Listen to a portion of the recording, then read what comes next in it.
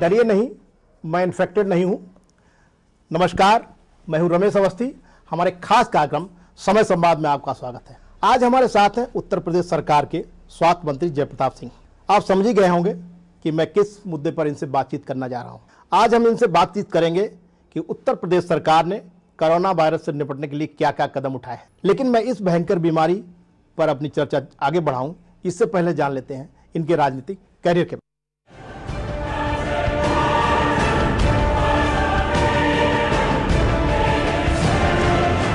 योगी cabinet के स्वास्थ्य मंत्री जयप्रताप सिंह सिद्धार्थनगर ज़िले के बांसी विधानसभा क्षेत्र के विधायक हैं। जयप्रताप सिंह बांसी राजघराने के स्वर्गीय राजा पशुपति प्रताप सिंह के पोते हैं और राजा रुद्र प्रताप सिंह के बेटे हैं। इनके पिता राजा रुद्र प्रताप सिंह सेना में मेजर थे जो रिटायर होने के बाद दिल्ली में रहते हैं। जयप्रताप सिंह की पढ़ाई राजस्थान और मुंबई में हुई है। पढ़ाई के बाद वो गुजरात में कारोबार करने लगे थे। लेकिन बांसी की जनता के काफ़ी दबाव के बाद उन्होंने पहली बार उन्नीस सौ नवासी में बांसी विधानसभा से निर्दलीय चुनाव लड़ा और बीजेपी के कद्दावर नेता हरीश चंद्र श्रीवास्तव को भारी मतों से चुनाव हराया। फिर दूसरी बार उन्नीस सौ इक्यानवे में भी उन्होंने निर्दलीय चुनाव लड़ा, लेकिन मात्र तीन वोटों से ही उनकी जीत हुई थी। फिर उन्नीस छियानवे और 2002 में भी बीजेपी के विधायक बने और फिर 2007 में मात्र 2400 वोटों से चुनाव हार गए। जिसके बाद 2012 और 2017 में भी वह बीजेपी के विधायक बने और वर्तमान योगी सरकार के कैबिनेट मंत्री बनाए गए। जयप्रताप सिंह बेहद सरल सहज स्वभाव के धनी हैं, साथ ही क्षेत्र में ईमानदार नेता की छवि के माने जाते हैं। उनकी इसी छवि की वजह से वह दो बार निर्दलीय और पाँच बार बीजेपी के विधायक चुने गए। और उन्नीस सौ नवासी से अब तक राजनीति के क्षेत्र में जमे हुए हैं। जयप्रताप सिंह को राजनीतिक हलकों में सादगी के लिए जाना जाता है। सौम्यता शालीनता भी इनकी एक पहचान है। हालाँकि राजसी परिवार से फिर भी बेहद शांत और सरल स्वभाव के व्यक्ति। जयप्रताप जी बहुत बहुत स्वागत हमारे खास कार्यक्रम में। जी धन्यवाद। वैसे तो हमारा कार्यक्रम एक राजनीतिक कार्यक्रम होता है। आपका पहले भी मैंने इंटरव्यू लिया था। तमाम राजनीतिक सवाल किए थे। जी। लेकिन आज मैं आपसे बात कर रहा हूँ कोरोना के ऊपर क्योंकि कोरोना को राष्ट्रीय महामारी घोषित किया जा चुका है और आप प्रदेश में स्वास्थ्य मंत्री हैं, एक बड़ी ज़िम्मेदारी आपकी है, अफवाहों को कम करने के लिए और साथ में कोरोना से निपटने के लिए भी। तो अभी तक सरकार ने क्या क्या इंतज़ाम किया विश्व स्वास्थ्य संगठन तो अभी जल्दी ही इसको एक महामारी का रूप दे दिया पूरे विश्व में। और इसके पूर्व ही जब हमको इसका सूचना मिलना शुरू हुआ जब चीन से ये अंतर्राष्ट्रीय मीडिया के द्वारा सब जगह प्रचारित होने लगा, जनवरी सत्ताईस से, हमने तभी अपने नेपाल सीमा पर 19 एंट्री पॉइंट्स पर हमने अपनी टीम गठित करके स्क्रीनिंग का प्रक्रिया हमने शुरू कर दिया था उसी समय से। और उसके बाद धीरे धीरे करके जैसे इसकी सूचना और प्राप्त होने लगी तो हम लोग ने एयरपोर्ट्स पर, जिसमें लखनऊ और वाराणसी एयरपोर्ट पर थर्मल स्कैनर डॉक्टर्स की टीम पहले स्क्रीनिंग की लगाई उसके बाद फिर थर्मल स्कैनर भी लगाना शुरू कर दिया। क्या सेना के डॉक्टरों को और रेलवे के डॉक्टरों को भी इस महामारी से निपटने के लिए लगाया गया? जी जी उनको भी हम लोग ने उनसे वार्ता की है। उनके फैसिलिटी का भी थोड़ा अंश हमने रुकवा लिया है और आवश्यकता पड़ेगा तो वो भी हमारे साथ देंगे और वो डॉक्टर्स भी काफ़ी अच्छे डॉक्टर्स है ट्रेंड होंगे।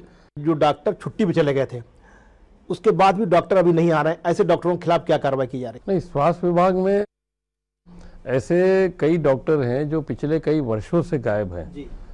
ये तो हम लोग ने इधर पिछले कई महीनों में हम लोग ने जब जाँच करना शुरू किया और जो पद हमारे ऑलरेडी सृजित हैं उन पद पर जब डॉक्टर गायब मिले तो इसकी पूरी एक श्रृंखला निकली। और लगभग ये छः सात सौ डॉक्टर या लगभग आठ सौ डॉक्टर की क्योंकि ये लोग ज्वाइन कर चुके हैं हमारे पद पर पद पर आने पर सरकारी सेवा को हटाने के लिए एक बहुत लंबा प्रक्रिया होता है। उस प्रक्रियाधीन उस प्रक्रिया को आगे बढ़ाते हुए अब वो जाके हमारा आ, समाप्त होने जा रहा है क्योंकि ये डॉक्टर हमको लगता है कि हमारे ज्वाइन करने के बाद प्राइवेट उसमें चले गए या अपना नर्सिंग होम खोल दिए। तो उनको बर्खास्त हमको करना पड़ता है ताकि वो पद खाली हो जाए और नए डॉक्टर्स हमारे जो आ रहे हैं उनको उन जगह पर शामिल करेंगे। तो ये एक लंबा प्रक्रिया हो गया ये। तो ऐसे डॉक्टर क्या बर्खास्तगी की प्रक्रिया चालू है? हाँ बर्खास्त करके हाँ। बर्खास्त मुझे लगता है कि एक महीने के अंदर ही हो जाएँगे। लगभग 600 से लेके 800 का कुछ फिगर है। ये हो जाना चाहिए। और हमारे अभी लोक सेवा आयोग से करीब 2000 डॉक्टर्स हम लोग ने अभी सिलेक्शन किया है। उनका व्यक्तिगत काउंसलिंग करके हमने आपकी उनको प्रोत्साहित किया कि हर हाल में वो हमारे प्राइमरी हेल्थ सेंटर पर, प्राथमिक स्वास्थ्य केंद्रों पर अपना समय दें और उनसे आगे की थोड़ी सी रियायत भी हमने कर दिया कि अगर आगे उनको पढ़ाई करना है पीजी के या कुछ कुछ सुविधाओं के साथ हमने उनको आ, आ, हमारी सेवा में आने के लिए कहा भी है तो उसमें लगभग 1800 डॉक्टर ने अपनी सहमति भी दे दी है। वो दो साल के लिए हमारे विभिन्न प्राथमिक स्वास्थ्य केंद्रों पर जाएँगे। मतलब ये अभी भी अगर देखा जाए तो जो आपकी सी एच सी होती है पी एच सी होती है जो उस पर जो भी डॉक्टर हैं वहाँ पे वो काफ़ी संविदा हैं और काफ़ी सालों से हैं। उसके बाद भी उनके लिए अभी कोई ऐसी व्यवस्था नहीं की गई ताकि वो नियमित हो सकें। वो इसके लिए समय समय में मांग भी करते रहते हैं। तो ऐसी स्थिति में जब उनको अपना भविष्य अधर में दिखता है तो सेवाएँ क्या करेंगे? जो हमारे परमानेंट डॉक्टर्स हैं जो लोक सेवा आयोग से आते हैं, उनका जो आप कहिए कि उनका वेतन, उनका जो N P non practising allowance है, वो सब मिला के आज बहुत अच्छा एक पैकेज उनको मिलता है। तो उस हिसाब से जैसे जैसे वो आगे सीनियोरिटी में बढ़ते हैं, वैसे वो पैकेज थोड़ा सा डाउन होता है, क्योंकि इनकी वेतन, मूल वेतन भी बढ़ते रहता है। तो एक उसका एक निश्चित अमाउंट उनको मिलता है तो उसमें कोई कमी नहीं है। संविदा वाले जब हमारे यहाँ रहते हैं, अगर वो इंटरेस्टेड हैं तो जब भी लोक सेवा से हमारा जब अगला एडवर्टाइजमेंट निकलेगा तो उसमें वो भी अप्लाई कर सकते हैं। उसमें वो परमानेंट भी हो सकते हैं। तो इस तरह करके ये शॉर्टेज के वजह से बहुत जगह आज भी नीति के विपरीत बहुत सारे डॉक्टर पंद्रह साल, बीस साल किसी एक जगह पड़े रहते हैं या दस साल से ऊपर पड़े रहते हैं। उनका नर्सिंग होम भी बन जाता है, उनके और भी एक्टिविटीज़ हो जाते हैं। तो इसको रोकने के लिए भी एक बहुत बड़ी आ, समस्या हो जाती है हमको क्योंकि अगर डॉक्टर्स के ऊपर हम तत्काल कार्रवाई करें तो बहुत जल्दी डॉक्टर्स कभी कभी अपना इस्तीफ़ा भी दे देते हैं और चले भी जाते हैं। तो मानवीय दृष्टिकोण को देखते हुए क्योंकि हमारा पूरा जो ये स्वास्थ्य विभाग का जो स्ट्रक्चर है ये बहुत बड़ा स्ट्रक्चर है। तेईस करोड़ की आबादी को हमको उसका पूरा एक आ, मुफ़्त में मेडिकल हमको देना पड़ता है सेवाएँ देना पड़ता है। और उसके लिए हमको डॉक्टर्स को अच्छी तरह से उनको भी सुविधा पर्याप्त हो उनको भी पूरा हम हेल्प कर पाएँ। उस हिसाब से हम अपना मैनेजमेंट इधर पिछले छः महीने में हमने काफ़ी परिवर्तन भी किया है। हमें उम्मीद है कि अब धीरे धीरे जैसे हम पॉलिसीज़ में थोड़ा बदलाव लाएँगे या हमारे ट्रांसपोर्ट पॉलिसी में बदलाव लाएँगे तो थोड़ा उनके साथ संवाद करते करते उनको भी हम प्रोत्साहित करेंगे कि आप जहाँ भी आप जाएँगे, थोड़ा काम आपका ठीक रहेगा, आपके टाइमिंग के हिसाब से ठीक रहेगा। इसमें हम लोग काफ़ी कोशिश कर रहे हैं काफ़ी। आपसे हमारी बातचीत का सिलसिला जारी रहेगा। यहाँ पर लेते हैं छोटा सा ब्रेक ब्रेक के बाद फिर हाजिर होते हैं। ब्रेक के बाद फिर आपका स्वागत है। हमारे साथ हैं उत्तर प्रदेश सरकार के स्वास्थ्य मंत्री। मंत्री जी जिस तरीके से एलोपैथिक दवाओं की बात हो रही है, पैरासीटामोल की बात हो रही है, और भी दवाओं की बात हो रही है तो क्या आयुर्वेदिक दवाएँ इसमें ज़्यादा प्रभावी हैं? देखिए, अभी वो क्लिनिकली इसको हम साबित तो नहीं कर सकते हैं, मगर बहुत परंपरागत पुराने दवाइयाँ हैं और लोग कहते भी हैं कि आयुर्वेदिक दवाई खाने से इसमें, इसका बचाव हो सकता है। ये वायरस बिल्कुल नया है। तो नॉर्मल जैसे हमारा खांसी जुकाम होता है, बहुत सारे लोग आज भी होम्योपैथिक लेते हैं, आयुर्वेदिक दवाई भी लेते हैं, और उनको उसमें विश्वास भी है। और यदि ऐसे संख्या में भी लोग का विश्वास है तो ज़रूर वो उसको मानते हुए अपने वैद्य से, अपने डॉक्टर से, उन लोग से संपर्क करके ज़रूर वो लोग वो दवाई खाते भी होंगे। उसमें कोई नुकसान तो नहीं है। स्वामी रामदेव की जो गिलो की एक डिब्बी आती है वो पूरे देश के सभी स्टोरों में खत्म हो गई एक दिन के अंदर। जी जी। तो इसका मतलब भरोसा आयुर्वेद पे ज़्यादा है हाँ उनका हाँ, बहुत सारे लोग का आयुर्वेद दवा है और फिर एक वो सिचुएशन भी बन जाता है जहाँ लोगों को लगता है कि अगर इसका कोई वैक्सीन ही नहीं है तो चलिए यही हम ले लें और हो सकता है उससे उनका उपचार भी हो जाए एक बचाव हो जाए एक प्रोटेक्शन हो जाए कि कोरोना वायरस उनको न लगे इसका भी हो सकता है उनके दिमाग में रहेगा। तो है हमारे यहाँ तो परंपरा के पुराने दवाइयों का बहुत पहले होता भी था इस तरह की चीज़ें। तो हो सकता है उसका भी एक फ़ायदा हो हमको। मंत्री जी आप काफ़ी बड़ा राजनीतिक जीवन है आपका।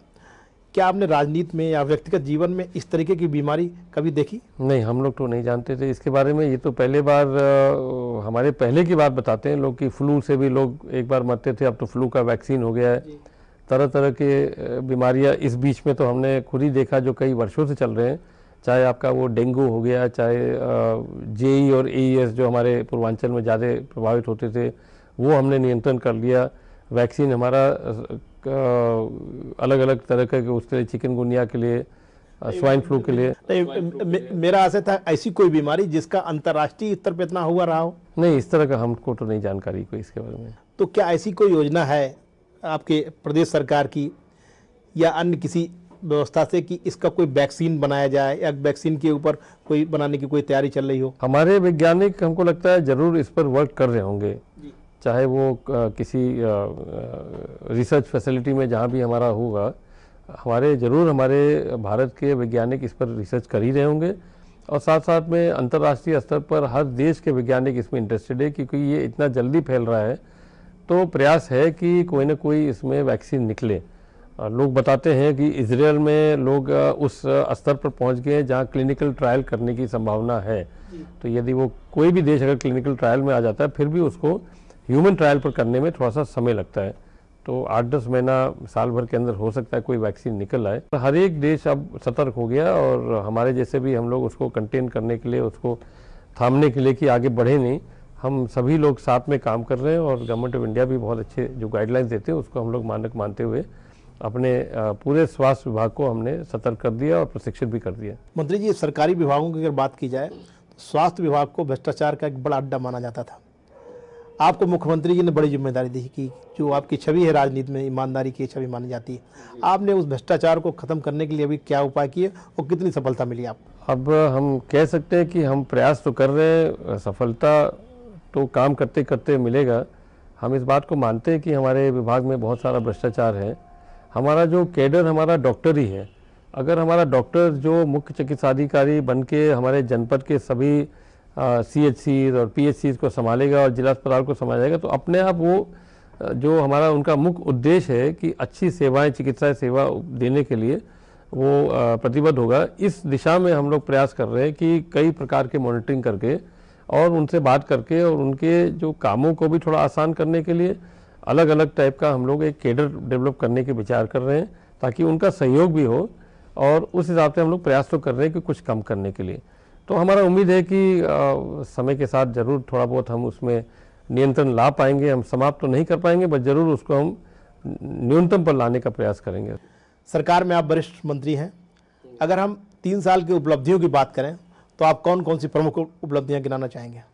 हमारे विभाग का नहीं हम टोटलिटी की बात कर रहे हैं सरकार की बात कर रहे हैं। अब टोटलिटी में अब हमारी सरकार जब आई थी तो बहुत सारे क्षेत्रों में हम लोगों ने काम करना शुरू किया। सबसे पहले मुझे लगता है कि किसानों का कर्ज माफ़ करने के साथ साथ में किसानों के लिए एक बहुत एफिशिएंट सिस्टम हमने डेवलप किया जहाँ इनकी जो उपज होती है गेहूँ और आ, धान जो मेनली होता है और कुछ और भी उपज होते हैं उनका क्रेकेन को हमने डीबीटी के माध्यम से ऑटोमेटिक माने एक तो पंजीयन करके ऑनलाइन पंजीयन करना। हर चीज़ को जब हम ऑनलाइन करते हैं तो हम बिचौलियों को बीच में साफ़ कर देते हैं। चाहे हमारे जो पेंशन वाली योजना होती है चाहे किसानों को हम किसी प्रकार का सब्सिडी देते हैं या किसानों को किसी तरह का हम आ, आ, क्या बोलते हैं पेमेंट करते हैं ये डीबीटी और ऑनलाइन सिस्टम से हमने इसको काफ़ी चीज़ इम्प्रूव किया और ये हम हर विभाग में भी हम लोग करने जा रहे हैं और कर भी रहे हैं। तो एक तो ऑटोमेशन से हमारे भ्रष्टाचार में थोड़ा कमी आता है। उसके बाद जो अन्य चीज़ें हैं जैसे जो जहाँ भ्रष्टाचार का जड़ था थोड़ा सा खनन में हम लोग ने ई टेंडरिंग करके हमने उसका रेवेन्यू बनाया। जो मेरा पूर्व विभाग था आबकारी वो भी उसमें बहुत सारी कमियाँ थी तो उसमें भी हमने टेक्नोलॉजी जोड़ते हुए आज उसका सत्रह से चौदह हज़ार करोड़ जो हमारी आमदनी थी रेवेन्यू होती थी उसको हमने इकतीस हज़ार करोड़ तक अभी पहुँचा दिया है। तो ये हमारे इम्पोर्टेंट एस्पेक्ट भी थे। और उसके साथ जो वातावरण एक डेवलप करने के लिए, एक उद्योग के लिए वातावरण करने के लिए, वो जो सबसे महत्वपूर्ण है ताकि हमारे लोग रोज़गार पाए, हमारे यहाँ नौकरी पाए, हमारे यूथ को नौकरी मिले, उसके लिए हमने इंफ्रास्ट्रक्चर में रोड्स की बहुत बड़ी नेटवर्किंग करी, पुराने रोड्स को हमने ठीक किया, बिजली की व्यवस्था हमने बहुत बड़ी की। आज बिजली हमारे गाँव में 16 से 18 घंटा आ ही रहा है। निगर निगम में 24 घंटा आ रहे हैं और जगह 22 घंटे जा रही है। इस तरह का पूरा नेटवर्किंग हमने ठीक किया और उसके बाद हमने कानून व्यवस्था पर भी नियंत्रण किया जहाँ तक हो सकता है हमने संगठित अपराध और अब जो बढ़ावा आ रहा है साइबर अपराध के लिए हर आ, मंडल स्तर पर हमने साइबर थाना भी खोल दिए ताकि साइबर अपराध जो अब बढ़ते हुए अपराध में दिख रहा है और संगठित अपराध को हमने नियंत्रण करके उनके जितने भी गैंग्स हैं उनको तो हम लोगों ने या तो बंद कर दिया या किसी न किसी रूप में वो ख़त्म हो चुके हैं। तो वो वहाँ तक करने में हम इसमें सफल रहे कि एक उद्योग का वातावरण बने, जिसमें प्रधानमंत्री ने दो बार हमारे उत्तर प्रदेश में आके इन्वेस्टर समिट भी दो बार किया ग्राउंड ब्रेकिंग समिट भी किया डिफेंस एक्सपो एक इतना बड़ा योजना अभी जल्दी हम लोग ने किया जो प्रयागराज से लेके चित्रकूट तक अलग अलग स्थान पर डिफेंस कॉरिडोर बन रहा है एमओयू साइन हो रही है। तो ये जो एक्टिविटीज़ हम लोग ने शुरू किया, इससे माने धीरे धीरे करके उत्तर प्रदेश में एक सेफ़ इन्वेस्टमेंट करने का एक वातावरण बन चुका है। लोग उत्तर प्रदेश की तरफ़ देख भी रहे हैं और इन सभी चीज़ में जब हम इम्प्रूव करते हैं तो निश्चित है कि इसका पर कैपिटा इनकम पूरे पब्लिक के ऊपर भी बढ़ेगा आ, बनता है। उनका पर कैपिटा इनकम बढ़ेगा। और ओडीओपी एक बहुत अच्छा हम लोग ने योजना मुख्यमंत्री जी के माध्यम से शुरू किया था जो हर एक जनपद में एक पर्टिकुलर क्या बोलते हैं प्रोडक्ट को हम डेवलप करके उसका जो लोकप्रियता है उसको सीधा मार्केट से जोड़ना एमएसएमई के विभाग से जोड़ना उसको प्रोत्साहन देना उनको स्टार्टअप के लिए पैसा देना इस तरह का योजना करके छोटी छोटी योजना को हम लोग बढ़ावा देते जा रहे हैं। और ऐसे बहुत सारी चीज़ें और भी है जो उत्तर प्रदेश में तीन साल में हम लोग ने काम किया है और लगातार करते जा रहे हैं। तो हम माने कि योगी जी के नेतृत्व में उत्तर प्रदेश उत्तम प्रदेश बनने जा रहा है। बिल्कुल उत्तम प्रदेश बनेगा। आप विश्वास करिए बहुत सारी चीज़ें हम लोग काम कर रहे हैं और आगे भी ये बढ़ेगा। हमसे बातचीत करने के लिए बहुत बहुत धन्यवाद। ये थे उत्तर प्रदेश सरकार के स्वास्थ्य मंत्री जयप्रताप सिंह जी। स्वास्थ्य मंत्री जी ने कहा कि उत्तर प्रदेश में योगी जी के नेतृत्व में उत्तर प्रदेश उत्तम प्रदेश बनने जा रहा है। आज इस कार्यक्रम में इतना ही। आगे की खबरों के लिए देखते रहिए समय यूपी उत्तराखंड। सहारा प्रणाम।